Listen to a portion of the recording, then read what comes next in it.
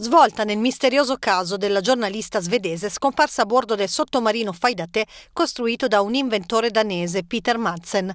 Il corpo della reporter Kim Wall è stato ritrovato in mare al largo delle coste della Danimarca senza testa, senza braccia e gambe. Secondo la polizia, gli arti e la testa sono stati staccati intenzionalmente.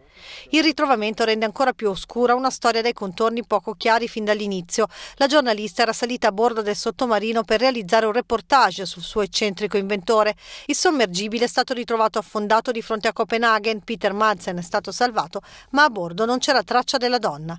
L'inventore prima ha detto di averla riportata a terra, poi ha dichiarato che era morta a bordo a causa di un incidente e che aveva gettato il suo corpo in mare. L'uomo è per ora accusato di omicidio per negligenza.